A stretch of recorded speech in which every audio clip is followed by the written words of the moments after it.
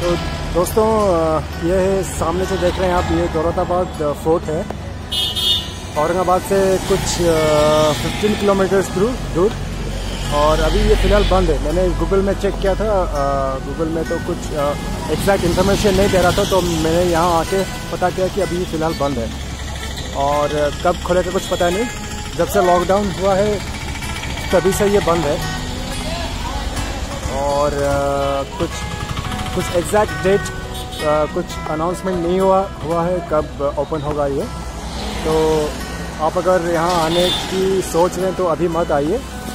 और Google Google में जाके यू जस्ट कंफर्म फ़र्स्ट कब ये ओपन होगा, फिर आप आइए यहाँ पे ओके तो this is the entry gate आप जिसे देख रहे हैं सामने this is the entry gate